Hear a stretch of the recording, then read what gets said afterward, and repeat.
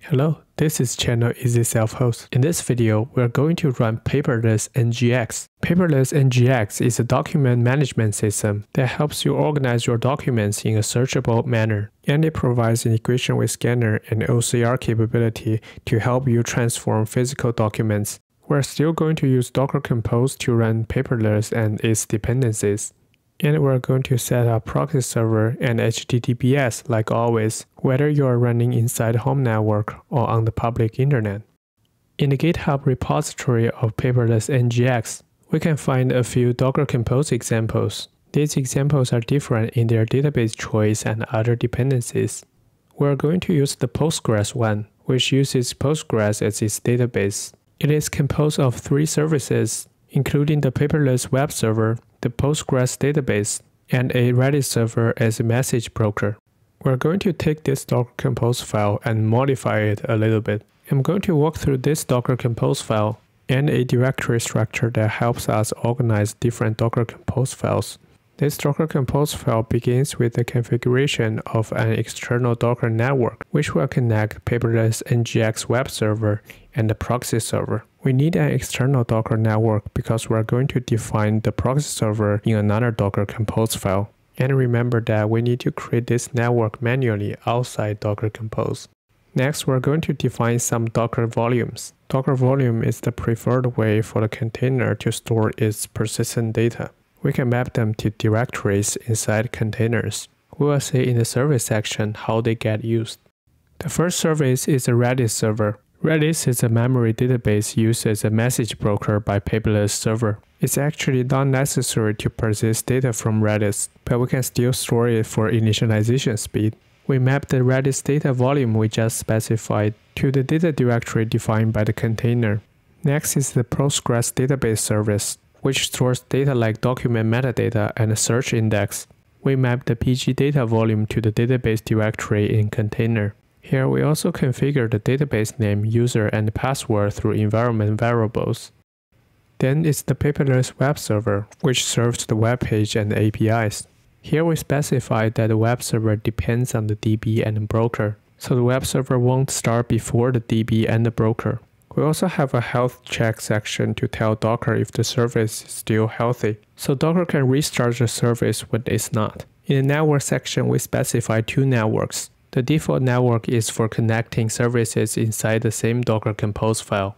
If a service only needs the default network like the broker and the DB, it can skip the network section. The proxynet is for connecting the proxy server we're going to talk about later.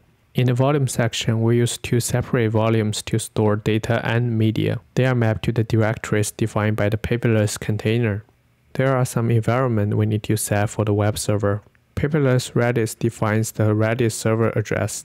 The Paperless DB host defines the database network hostname, and the Paperless DB pass defines the password for the database. The paperless URL defines the URL you plan to access the paperless server. It's for the paperless server to audit the URL it accepts. You will need to set up DNS and the proxy server for the URL to work. Then it's a secret key for the paperless server to do authentication. Please generate another random string when you are using this file.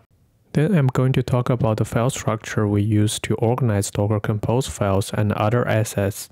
In this file structure, we put each app and its dependencies in its own Docker Compose file and directory. This file structure has the benefit that you can start each app individually, but you do have to go to each directory to bring up the apps though you can simplify this process by using a script. Then I'm going to talk about reverse proxy.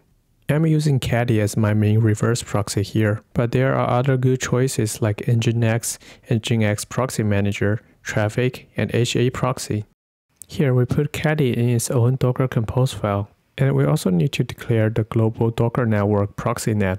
We have a volume setup mostly for storing certificates. Next, we have a config section in which we include the Caddy file in the same directory, and we are going to mount it in the service section. For the Caddy service, we're using a modified version of Caddy container that supports integration with DNS providers like Cloudflare.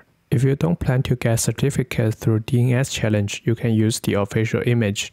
The rest of this Docker Compose file is pretty straightforward.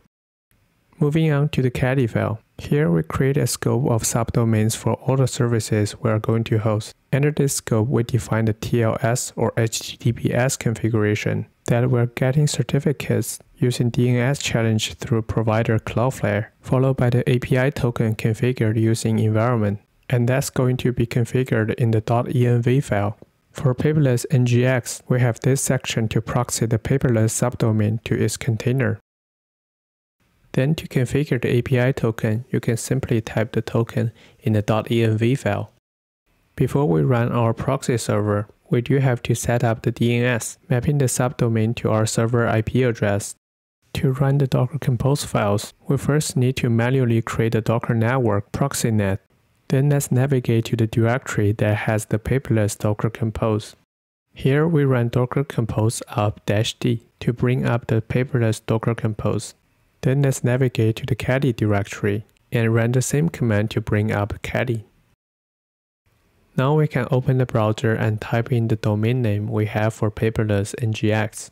For me, it's paperless.home.easyselfhost.com. Then we'll be prompted to the login page of the paperless. But unlike other self-hosted apps, paperless doesn't have a default login. Instead, we need to go back to the command line and run a shell inside the paperless container using the command docker exec -it paperless bash. This will launch a bash inside the container. And here we can run the following command to create a user. That is python manage.py create super user. Then you can configure the username and password of your first user. After this, you can run exit to exit the shell. And now we can go back to the web page and log in this user. Now we are in the paperless main dashboard and we can take the tour to get familiar with this app. I'll leave that to you to explore. To showcase the usage of paperless, let's drag some files here. After the files are uploaded, you can see them in the documents. The way paperless organize your file is through tags. To do that, you can open one of your documents and navigate to the tag section. Here, you can start typing the tags you want to add. Say, I want to tag this bank statement banking. And of course, we can add multiple tags.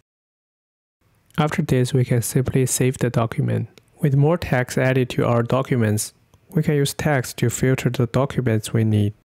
Tags are great, but I think the most powerful feature in paperless is searching. With its ability to read tags in the files and also perform OCR on files that doesn't have tags baked in, we can simply type in keywords in the search bar and find the files we need. Paperless has more features to offer. For example, you can give it access to your email account and it can automatically import files from your inbox. Paperless does it through IMAP, so most of your webmail platforms should support this. I highly recommend you go to the Paperless website and discover more use cases there. That's all for this video. Please consider subscribing for content like this. You can find the configuration files in this video on GitHub and the link is in description below. Thank you for watching.